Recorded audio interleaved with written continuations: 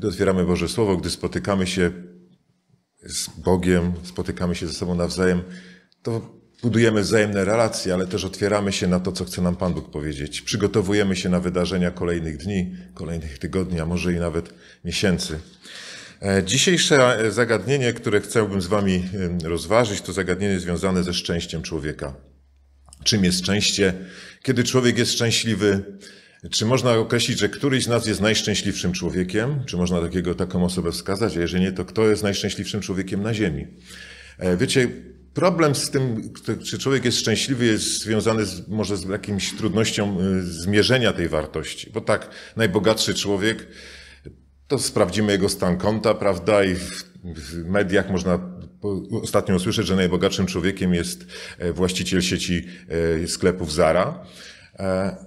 Kto jest najsilniejszym człowiekiem, e, kto najdalej rzuci piłką, kto najwięcej podniesie. Te wszystkie dyscypliny mają e, swoich liderów czy swoje zawody i, i wtedy możemy jasno powiedzieć, no ten człowiek jest najlepszy, najsilniejszy, ale kto jest najszczęśliwszy?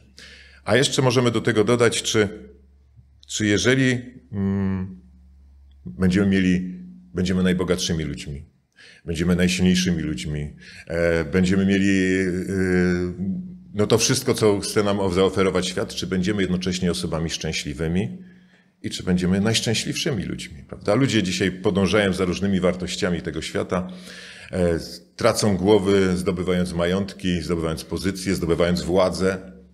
Pytanie, czy to wnosi w ich życie szczęście. Wiecie, na samym początku chciałem postawić taką tezę, że tak naprawdę szczęście nie jest związane z żadnym z tych, z tych rzeczy, bo przecież ci bogaci ludzie dalej poszukują, dalej szukają jakichś różnych symulantów, różnych sposobów do tego, aby swoje życie ubogacić, żeby się stało ciekawsze, a więc ciągle im czegoś brakuje, ciągle są e, w miejscu, w którym, e, którym odczuwają jakiś brak, jakąś tęsknotę. Jest pewna historia, która opowiada o człowieku, który chciał być szczęśliwy. To jest historia o królu, który rozesłał e, swoich, a może inaczej, czuł się nieszczęśliwy. Chociaż miał władzę, chociaż miał majątek, chociaż miał wszystko, co daje życie, czuł, że ciągle jest nieszczęśliwy i nie wiedział, co ma robić. Wiecie, można tą historię przełożyć na dzień dzisiejszy i powiedzieć, e, to człowiek, który posiada ogromny zasób konta, to człowiek, który ma duże mieszkanie, duży dom, wspaniały ogród, e, człowiek, który ma wspaniałą rodzinę, e, Ogląda najlepsze filmy, gra na najlepszych grach, ma najlepszy smartfon, ma najlepszy telefon, ale gdzieś tam w sercu ciągle, ciągle nie czuje, że jest szczęśliwy. Gdzieś tam potrzebuje znaleźć coś, co dałoby mu wartość i co skierowałoby jego życie w tym dobrym kierunku. No i ten król rozesłał swoje sługi, żeby znaleźli takiego szczęśliwego człowieka w jego, w jego, w jego, e, w jego królestwie. Jeden z doradców powiedział: Słuchaj, jeżeli jeden dzień spędzisz w butach szczęśliwego człowieka, to będziesz szczęśliwym człowiekiem.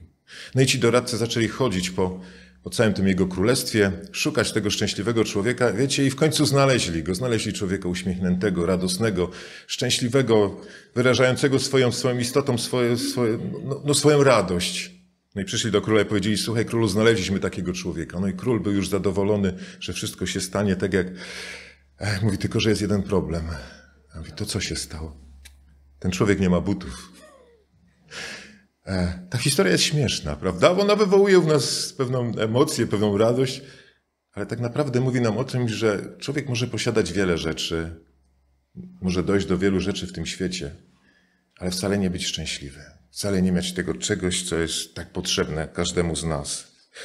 Tak naprawdę wiecie sami, że niełatwo być szczęśliwym. Ja tak sobie myślę, kochani, że Gdyby mój pradziadkowie albo y, ktoś z moich bliskich zostawił mi taki list zapisany i powiedział: Słuchaj, znam tajemnicę szczęścia e, i zapisałem ją e, w jakiejś kopercie, to czy chciałbym otrzymać taki list od, mojego szczęśli- od takiego szczęśliwego człowieka? Ja myślę, że każdy z nas chciałby otworzyć i przeczytać instrukcję tego, jak być człowiekiem szczęśliwym. I stąd mam dla Was dobrą informację. Nie z tych gatunku dobra i zła, ale dobrą informację bo ten Pan, który nas stworzył, Bóg, który jest Panem wszystkiego, zawarł taką informację. Zawarł ją właśnie w Piśmie Świętym, którym przeznaczył przecież nie dla uczonych, intelektualistów, profesorów, ale zawarią do każdego z nas. Do każdego z nas skierował taki list. List, który mówi, jak stać się szczęśliwym człowiekiem, jak być szczęśliwym człowiekiem. Jak traktujemy Pana Boga, jak traktujemy to, co związane jest z Bogiem. Czy podchodzimy do tego poważnie, a może Bóg stoi gdzieś z dala od naszego życia? Czasami jako adwentyści mówimy, że kochamy Słowo Boże, że napełnia ona nas radością, szczęściem, że im bardziej się zagłębiamy w Słowo Boże, tym więcej znajdujemy w nim prawdy. A ja się pytam, kiedy ostatnio zachwyciłeś się jakimś fragmentem Słowa Bożego? Kiedy otworzyłeś Biblię i powiedziałeś sobie, wow, Panie Boże, to jest to, co, co tak bardzo potrzebowałem. Wiem, że wszyscy mamy coś do nadrobienia. Słowo Boże to Boży dar dla nas, abyśmy byli ludźmi szczęśliwymi. Pan Bóg, który nas stworzył, cierpliwie czeka, aż okażemy mu zainteresowanie. On z nas nie rezygnuje. Jak ojciec, jak matka nie zrezygnuje swojego dziecka, Bóg apeluje do naszych serc, apeluje do naszych emocji, do naszych myśli i mówi: Słuchaj, moje dziecko, ja mam dla ciebie dar. Dar mojego słowa. Zależy, jak go potraktujesz. I dzisiaj, w kontekście rozważania, najszczęśliwszy człowiek na świecie Pewnie moglibyśmy otworzyć kilka fragmentów Słowa Bożego, kilka wersetów, dokonać ich analizy, ale chciałem z Wami przestudiować może życie pewnych osób z Nowego i Starego Testamentu, żeby zobaczyć na ich przykładzie, czy te osoby były ludźmi szczęśliwymi. Na początek wybrałem pierwszego króla, Izraela, który panował w Izraelu, e, Saula. Otwórzcie wraz ze mną pierwszą księgę Samuela, dziewiąty rozdział jeżeli macie ze sobą swoje Biblię, bo przecież po to studujemy fragmenty Słowa Bożego, abyśmy zobaczyli to, co Bóg chce nam powiedzieć. Bo to Bóg wybiera Saula. Dziewiąty rozdział pierwszej księgi Samuela, wers drugi. Miał on syna imieniem Saul, młodzieńca urodziwego. Nie było w całym Izraelu piękniejszego od niego, a o głowę przewyższał cały lud. A więc Pierwsza informacja mówiła, że Saul był człowiekiem bardzo urodziwym. Cieszył się popularnością. Kolejne wersety mówią o jego stanie duchowym. Wersety 17 po 21 z tegoż rozdziału. Samuel został posłany, aby, aby namaścić Saula na króla. Zaledwie Samuel spojrzał na Saula, Pan wyjawił mu: To jest ten, o którym ci mówiłem, że będzie panował nad moim ludem. I przystąpił Saul do Samuela w bramie i rzekł do niego, powiedz mi proszę, gdzie jest dom jasnowidza? Sytuacja y, biegnie dalej, wers 20. O oślice zaś, które ci zaginęły trzy dni temu, nie troskaj się, gdyż znalazły się. Do kogóż bowiem, jeśli nie do ciebie i do całego domu twego ojca należy wszystko, co jest pożądania godne w Izraelu? Saul odpowiedział, przecież jestem tylko Beniaminitą, więc najmniejszego pokolenia izraelskiego, a ród mój jest najmniejszy z rodów plemienia Benjamin. Dlaczego takie rzeczy do mnie powiedziałeś? Saul jest urodziwym młodzieńcem, ale jednocześnie zna swoją wartość. Pochodzę z najmniejszego plemienia w Izraelu. Jak ty możesz do mnie mówić, że do mnie należy wszystko, co jest pożądania godne w Izraelu? Czy Samuel, gdy, czy Saul, gdy usłyszał tą historię, tą zapowiedź swojego wywyższenia, był szczęśliwym człowiekiem? Czy to, że będzie królem nad Izraelem, że będzie panował w Izraelu, sprawiło, że stał się szczęśliwym? Ja myślę, że dostał ogromne wyróżnienie. Stał się człowiekiem, który, któremu Bóg powierzył niesamowitą misję. Czytamy później, że urodziły mu się synowie, córki, czy można czegoś chcieć więcej? Bóg obdarza go panowaniem, Bóg obdarza go rodziną, ma świadomość tego, że służy Panu Bogu, że jest blisko Pana Boga. Myślę, że jego serce przepełniało szczęście. Gdybyśmy mieli wtedy wskazać i powiedzieć, ten człowiek, to może on jest tym najszczęśliwszym człowiekiem. Ale wiecie, historia biegnie dalej, historia życia Saula biegnie dalej i dowiadujemy się, że pewnego razu wybuchła wojna z Filistynami pierwszej księdze Samuela w 13 rozdziale, pierwsze w 10 rozdziale, w wersecie 8, Pan Bóg przez proroka mówi do, do Samuela, do Saula, przepraszam. Potem zejdziesz przede mną do Gilgal, a ja stąpię do ciebie, aby złożyć ofiary całopalne i rzeźne ofiary pojednania. Przez siedem dni będziesz czekał, aż ja przyjdę do ciebie i potem ci objawię, co masz czynić. Saul jako król izraelski zwołuje wojsko do miejscowości Gilgal. Zostaje uprzedzony, że Samuel przyjdzie po siedmiu dniach. Bóg jasno przedstawia sprawę. I zobaczcie, jak reaguje Saul, aby wypełnić to, co zostało powiedziane. W 13 rozdziale, wersety 7 po 13. A znaczna ilość przeprawiła się przez Jordan do ziemi Gad i Gilead. Saul pozostał jeszcze w Gilgal, ale wszyscy wojownicy, którzy szli za nim, byli przerażeni. I czekał siedem dni do czasu oznaczonego przez Samuela, lecz Samuel nie nadszedł do Gilgal. Wtedy lud opuścił go i rozproszył się.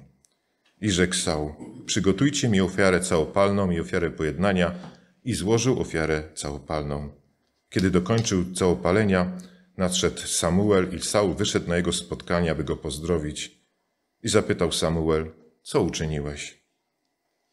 A Saul odrzekł, gdy widziałem, że lud pieszną ode mnie, a ty nie nadszedłeś o oznaczonym czasie, Filistyńczycy natomiast są zebrani w Michaz, pomyślałem, że Filistyńczycy wkrótce na mnie ruszą do Gilgal, a ja nie zdążyłem pozyskać łaski przed obliczem pańskim, ośmieliłem się przeto złożyć ofiarę całopalną. Ta historia w życiu Saula miała niesamowite konsekwencje. On został dokładnie poinformowany, jak ma się zachować. Te siedem dni zwłoki, które upływało, było dokładnie przepowiedziane. Prorok miał przyjść po tych siedmiu dniach. Ale jak tutaj czytamy, Saul powiedział: Ośmieliłem się. Ośmieliłem się przeto złożyć ofiarę. W odpowiedzi na to Samuel rzekł do Saula: Popełniłeś głupstwo.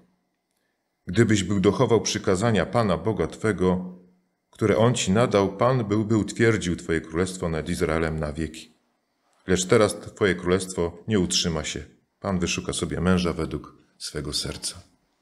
Popełniłeś głupstwo. Ale motywacją Saula do tego zachowania było to, że lud się, wojownicy mi opuścili, zagraża mi niebezpieczeństwo, Przeto ja nie widzę już powodu do tego, żebym miał czekać dalej na Samuela i ośmieliłem się.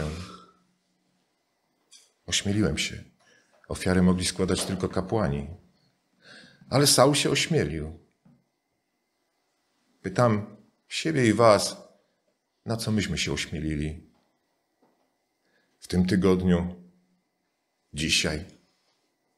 Przyszliśmy przed Boży Majestat Przyszliśmy się spotkać z Panem Bogiem. W piątej księdze Mojżeszowej, w szóstym rozdziale, w wersecie drugim, gdy kiedyś studiowaliśmy fragment Słowa Bożego, wiecie, znalazłem taką myśl, która niesamowicie mnie uderzyła. Piąta księga Mojżeszowa, szósty rozdział i tam wers drugi.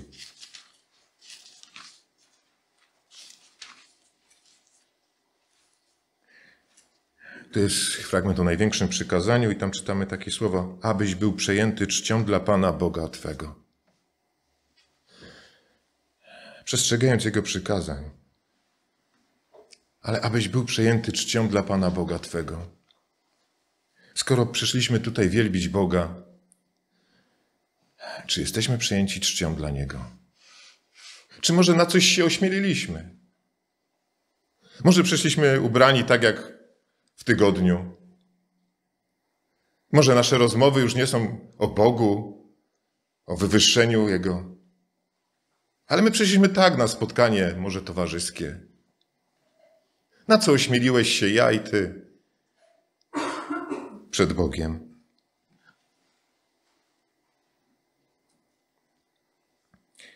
Pamiętacie, gdy przyszliśmy po raz pierwszy do kaplicy? Z jakim przejęciem, z jaką trwogą, może z jaką pokorą usiedliśmy i siedzieliśmy. Byliśmy poruszeni tym, że Bóg będzie do nas przemawiał. Że my jako śmiertelnicy możemy uczestniczyć w cudownym nabożeństwie na Bożą chwałę. Czy to się nie zmieniło? Czy może już przychodzimy tak jak Saul? Ośmieliłem się, no jestem władcą, jestem królem, mam przecież prawo. Może nasza duma urosła tak jak Saula. Mój przyjaciel kiedyś starał się o pracę w ubezpieczeniach. Mówi, Artur, idę na spotkanie do PZU. Ubrany garnitur, biały golf. Wiecie, gdy przyszedł, to dyrektor go wyrzucił. Powiedział, jak pan przyszedł tutaj? Czym, co pan sobą reprezentuje? Przecież pan się będzie spotykał z ludźmi. Umówił się następny raz, krawat, koszula. Dopiero został przyjęty. My przyszliśmy dzisiaj przed Boży Tron. Przyszliśmy wychwalać Boga. Ośmieliłem się. Historia króla Saula biegnie dalej. Piętnasty rozdział pierwszej księgi Samuela.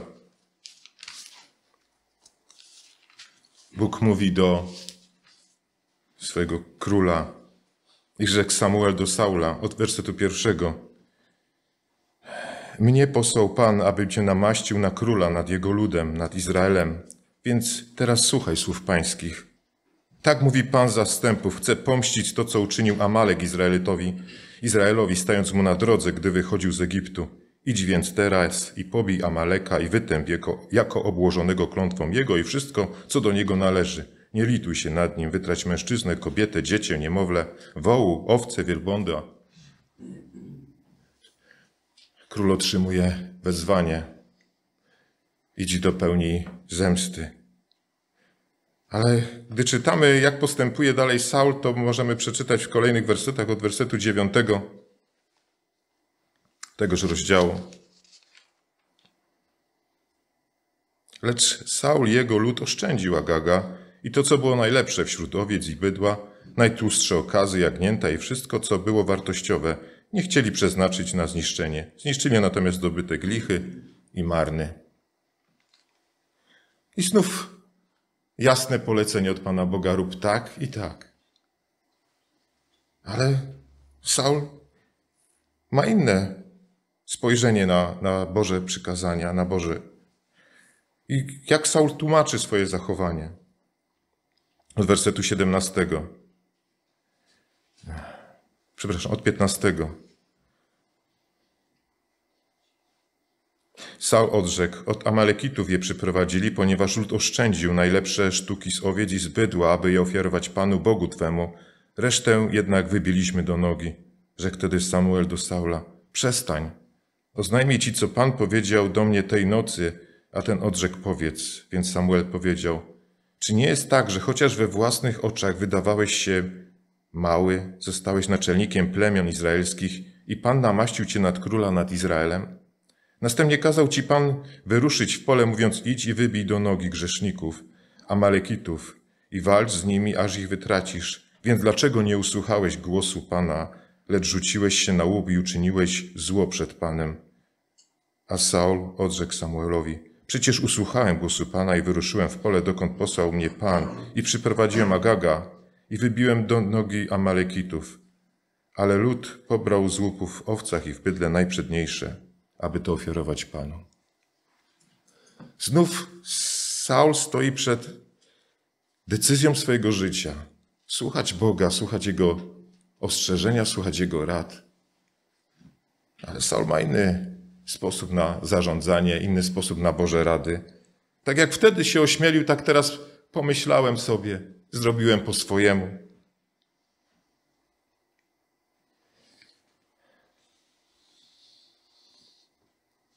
Jakie to smutne. Człowiek, który został wybrany na króla nad Izraelem. Człowiek, który został od Pana Boga obdarzony tak wielką przywilejami, radościami. Czytamy o nim, że koniec jego życia to ginie w wojnie z Filistynami, przebity albo dobity mieczem Giermka.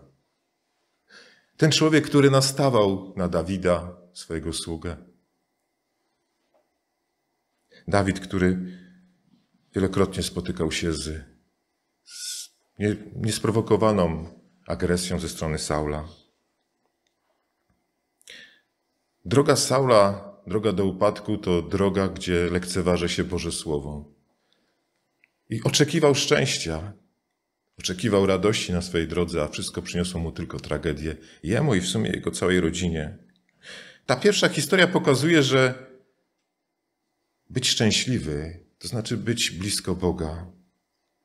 Że prawdziwe szczęście to nie blichtr, połysk, nie posiadanie władzy, majątności, ale to wszystko, co jest związane z Bogiem, to powinno stać się wartością naszego życia.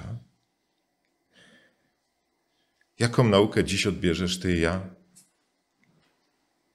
Myślę sobie, kochani, że nie jest dobrą rzeczą nie ufać Bogu. Tragiczną w skutkach rzeczą jest odrzucać Boże rady, ale katastrofalną jest okazywać Bogu nieposłuszeństwo. Każdy nasz czyn wywołuje konsekwencje. Jesteśmy wolni w wyborach, ale nie wolni od, od konsekwencji swoich wyborów. Dlatego nie dziwi ostatni apel, który Bóg kieruje do mieszkańców tego świata. Poselstwo zapisane w 14 rozdziale Księgi Objawienia. Bójcie się Boga i oddajcie Mu chwałę, gdyż nadeszła godzina sądu Jego. Nie sposób oddzielić posłuszeństwo względem Boga od Jego przykazań.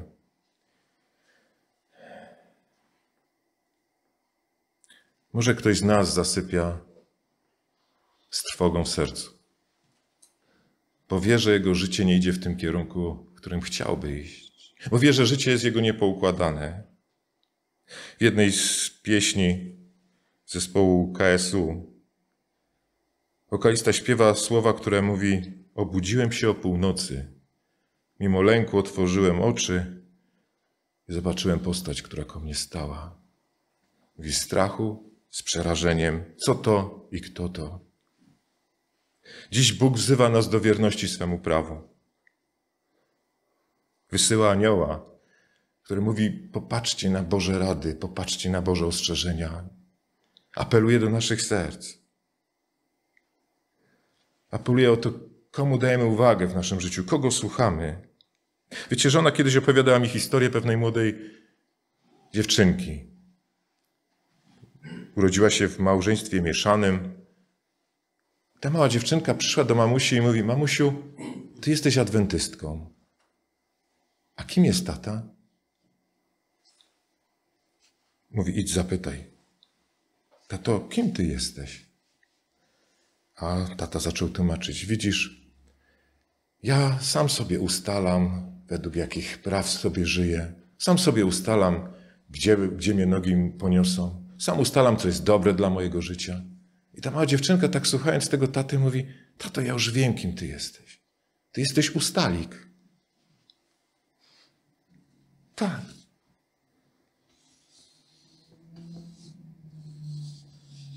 Dla jednych Słowo Boże, to co mówi Bóg, jest wartością nadrzędną. Dla innych to, co sami, co im się wydaje, to, co sami sobie ustalą. Ale Bóg wzywa nas do tego, abyśmy poszli za Nim, bo tylko On nam zagwarantuje szczęście. W książce patriarchowie i prorocy Ellen White napisała: Nieposłuszeństwo jest takim samym grzechem jak czary, a krnąbrność jak bałwochwalstwo i oddawanie czci obrazom. Bunt zaczął się od szatana, a wszelki bunt przeciwko Bogu jest bezpośrednim wynikiem szatańskiego wpływu. Ci, którzy sprzeciwiają się rządom Bożym, Bożym, łączą się w sojuszu z największym odstępcą, który będzie używał swojej mocy, by sprytnie opanować zmysły i pozbawić rozsądku. Wielu jak Saul tak długo ulega pokusie, aż przestaną dostrzegać prawdziwy charakter grzechu. Wmawiają sobie, że dążą do jakiegoś dobra, do dobrego celu i nie czynią nic złego, gdy uchalają się od wymagań Pana. W ten sposób działają wbrew duchowi łaski, aż w końcu przestaną słyszeć Jego głos i zostaną pozostawieni złudzeniom, które sami wybrali. Myślą, że dążą do dobrego kierunku.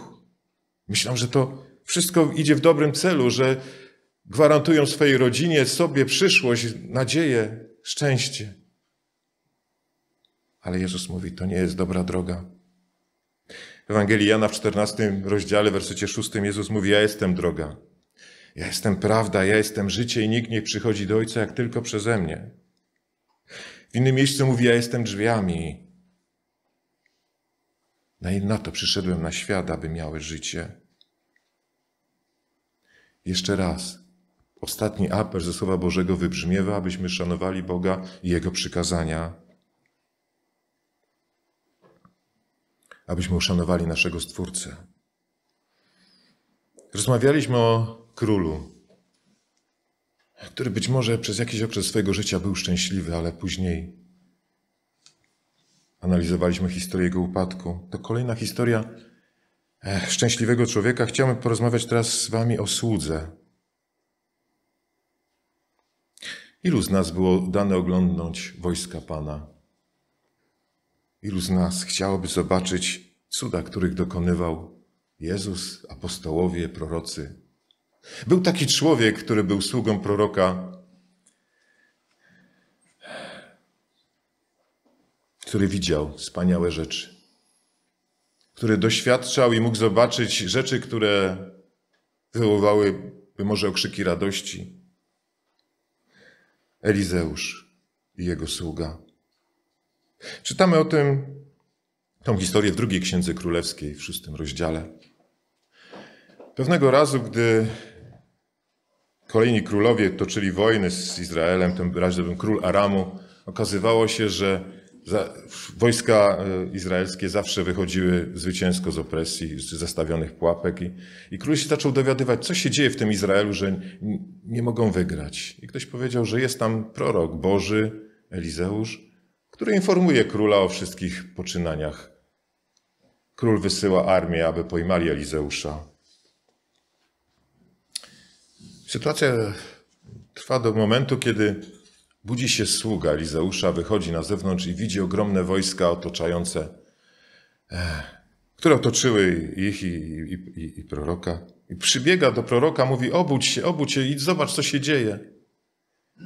Elizeusz staje, patrzy na te chówce zbrojne i mówi: Modli się. Modli się, aby Bóg otworzył oczy jego sługi aby mógł się przekonać, jak jest rzeczywistość. I, i historia podaje, że Gehazi widzi wspaniałość rumaki wo, wo, wojenne otaczające Elizeusza, jego. I mówi, nie masz się czego bać. Nas jest więcej. Gehazi był szanowany. Elizeusz był kiedyś sługą Eliasza. Gehazi był teraz sługą Elizeusza szanowany. Aż do momentu, kiedy któregoś razu do Elizeusza przychodzi Naman trędowaty. Naman, dowódca wojsk, przywozi wielkie dary, ale Elizeusz nie chce niczego. Mówi, zostaw to. Idź, obmyj się siedem razy w Jordanie, a będziesz uzdrowiony.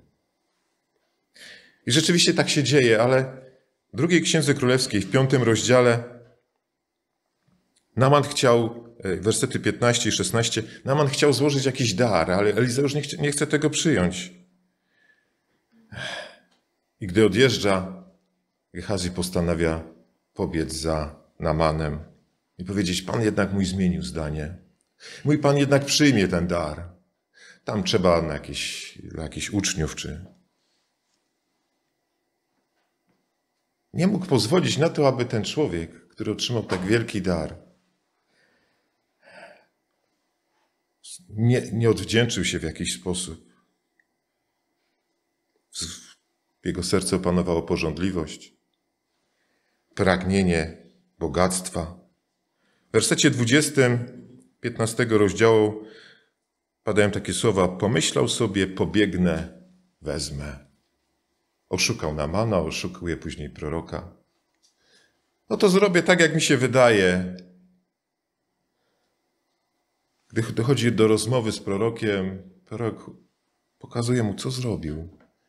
Skutkiem jego czynu jest to, że ten trąd, który był trądem Namana, przylgnął do niego i do jego rodziny. Był szczęśliwym człowiekiem. Przy Bożym proroku, przy Bożym dziele pięknymi, wspaniałymi perspektywami. ale to mu przestało wystarczać. W liście do Filipian w czwartym rozdziale, w wersecie czwartym, apostoł daje nam, i myślę, nam wszystkim radę. List do Filipian, czwarty rozdział, wers czwarty. Radujcie się w, Pane, w Panu zawsze. Powtarzam, radujcie się. A list do Kolosan, kilka stron, kilka kartek dalej, trzeci rozdział, wers piętnasty, dodaje taką myśl. W sercach waszych niech rządzi pokój Chrystusowy, do którego też powołani jesteście w jednym ciele, a bądźcie wdzięczni. Apostoł Paweł daje nam rady, bądźcie radośni. Radujcie się z Pana. Gdy przeżywamy swoje smutki, swoje troski, to mówi, bądźcie radośni. Niech wasze serce, wasze, wasz wzrok kieruje się na Chrystusa. Ale podoba mi się ta myśl z listu do Kolosan. Bądźcie wdzięczni. Czy jesteśmy wdzięczni? Czy może szczęście upatrujemy wtedy, gdy będziemy mieli już tą rzecz, którą tak bardzo pragniemy mieć? Nowy samochód, nową grę, nowy telewizor. Nie wiem. A wtedy, gdy ją posiadamy, okazuje się, że to naprawdę nic nie zmieniło. I chcemy mieć może coś innego. I wtedy dopiero będziemy szczęśliwi. Radujcie się w Panu, mówi apostoł. Bądźcie wdzięczni. Jeszcze jedna postać, również Saul. Tym razem to kapłan, faryzeusz, dostojnik, wykształcony, młody człowiek, pełny perspektyw, pełny życia, obywatel Rzymu. Człowiek, który ma przed sobą wszystko, ale człowiek, który też gdzieś w środku ma jakieś pragnienie służenia Bogu i odczuwa, że coś jest ciągle nie tak. Zaryzykuję i powiem, że Saul w tamtym okresie, późniejszy apostoł Paweł, nie jest szczęśliwy. Jest gotowy zabijać, jest gotowy prześladować chrześcijan. Ale czy jest gotowy umierać? Czy jest szczęśliwy? Wszystko się zmienia, gdy na swojej drodze Saul spotyka Chrystusa. Zmienia się wszystko w jednym momencie jego życia. Jakby się odwrócił od wszystkiego, co do tej pory miało wartość. Ani przez chwilę nie, nie żałuje swojego wyboru. Choć, jak wiecie, przyjdzie mu umrzeć męczeńską śmiercią, w jego żyłach panuje pokój. Tekst, który przeczytał brat na początku z listu do Filipian z trzeciego rozdziału, z siódmego, siedem po dziesięć, ale to wszystko, co mi było zyskiem, uznałem ze względu na Chrystusa za szkodę. A w innym miejscu dodaje, ale to wszystko, to wszystko są śmieci. Wykształcenie, majątek, obywatel Rzymu, faryzeusz i tak dalej, i tak dalej, to wszystko nie ma żadnej wartości. Dla mnie teraz jest Chrystus sednem, celem życia. Najsmutniejsze jest to, kochani, że dzisiaj ludzie spotykają Jezusa, otwierają Jego słowo, ale gdzieś po drodze gubią radość z poznawania. Dałem jednemu z moich kolegów książkę Wielki Bój. Wiecie, na któryś dzień przyniósł do mnie i powiedział: Słuchaj, ja go nie mogę czytać, tej książki. Ja muszę ci ją oddać. Bo gdybym przeczytał tą książkę do końca, to musiałbym coś zmienić w swoim życiu. Musiałbym sobie postawić zasadnicze pytania, dokąd zmierza moja droga. A mi na razie jest dobrze tak, jak jest. Wiecie, z jednej strony uważam, że był uczciwym, albo jest uczciwym. Ale czy niewiedza ma jakąś wartość? W jednej z książce, innej książki przeczytałem taką myśl. Niewiedza, ignorancja jest tylko wtedy cnotą, gdy nie ma możliwości poznania. Przestaje ją być, gdy taka możliwość istnieje. Jeśli mówisz, że nie chcę wiedzieć, a masz możliwość poznania, to to jest też droga w złym kierunku. Zmierzamy do finału naszego rozważania. Paweł, apostoł Paweł, stał się Bożym narzędziem misji. Czytamy o jego wspaniałych doświadczeniach. On, gdy pisze o różnych niebezpieczeństwach, których miał udział, Ale on w pewnym momencie swojego życia kieruje do Pana Boga niesamowitą prośbę. Cierpi na jakąś przypadłość. Otwórzcie drugi list do Koryntian, dwunasty rozdział i tam wersety 7 po 10.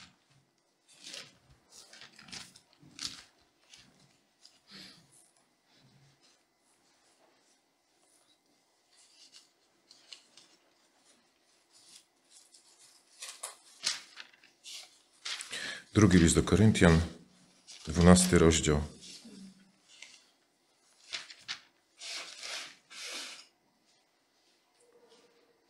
Bym się więc nadzwyczajności objawień zbytnio nie wynosił, wbity został cierń w ciało moje, jakby posłaniec szatana, bym nie policzkował, abym się zbytnio nie wynosił. W tej sprawie trzy razy prosiłem Pana, by on, od, by on odstąpił ode mnie, lecz powiedział do mnie, dosyć masz, gdy masz łaskę moją, albowiem pełnia mej mocy okazuje się w słabości. Najchętniej więc chlubić się będę słabościami, aby zamieszkała we mnie moc Chrystusowa. Dlatego mam upodobanie w słabościach, w zniewagach, w potrzebach, w prześladowaniach, w uciskach dla Chrystusa, albowiem kiedy jestem słaby, wtedy jestem mocny. Oto apostoł zwraca się do Boga z prośbą: Panie, zabierz mi tą chorobę. A Bóg jako lekarz mówi: Dość masz. Dość masz, jeśli masz moją łaskę. Ja uczyniłem dla ciebie już wszystko. Nic więcej nie mogę dla ciebie zrobić. To nic, że cierpisz. To nic, że nie możesz znaleźć pracy. To nic, że masz swoje kłopoty i troski. Ja o tym wiem. Ja znam Twój ból. Znam Twoje udręki. Znam Twoje wołania, Twojego serca. Znam Twoje modlitwy, mówi Pan Bóg. Ale wiesz, to wszystko kiedyś przeminie to czego dziś doświadczasz. Ale moja miłość do Ciebie nie przeminie. Nasza wspólna relacja nigdy nie przeminie. My mamy wspólną przyszłość. Bo kiedy po Ciebie powrócę, to będziesz mi moim przyjacielem. Dlatego dość masz, jeśli masz moją łaskę. Najszczęśliwszy człowiek na ziemi. Nie był to król, nie jest to kapłan, nie jest to sługa, ale myślę, że dzisiaj każdy z nas może być owym najszczęśliwszym człowiekiem na ziemi. Ty i ja, obdarzeni Bożą łaską, pewnością tego, że Zbawiciel towarzyszy nam w naszej podróży, że w momencie, gdy przychodzi choroba, cierpienie, smutek, Ty się masz na kim wesprzeć. Ty możesz usiąść, uklęknąć. Możesz powiedzieć Panu Bogu o swoich problemach, o Twoich troskach. I wiesz, że On cię przytuli. Wiesz, że On cię podniesie. Choć nasze życie ubiega i zmierza do jakiegoś końca, możemy być szczęśliwymi ludźmi.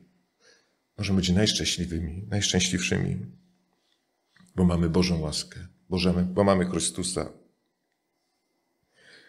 Bo z darem Chrystusa nie jest jak z darem innych. Ten dar dotyka każdego z nas. Nie skupia się w ręku jednego człowieka. Każdy z nas może być owym najszczęśliwszym człowiekiem na ziemi. Bo kto ma łaskę Bożą, kto ma Chrystusa, ten ma wszystko.